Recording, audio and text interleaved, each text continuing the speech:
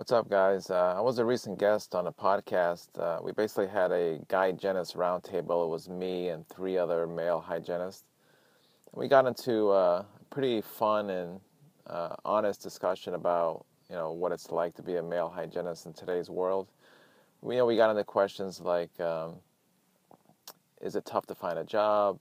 Uh, you know, is it okay for a patient to ask for a female hygienist? Things like that. So it's pretty interesting. I'll have a link if you want to listen to the podcast uh, in the description of the video below. Um, the podcast itself is a hygiene focused podcast. It's called, well, now it's called A Tale of Two Hygienists. It was called Off the Cusp. Uh, they're having a, a, name change right now. The two co hosts, uh, Andrew and Michelle, do a really good job. It's a relatively new podcast. Um, there's almost really no hygiene focused podcast out there. So if you're a podcast fan, I highly recommend it. They have like, I don't know, five or six, maybe seven shows already. Um, and they're being pretty consistent, you know, every week or so.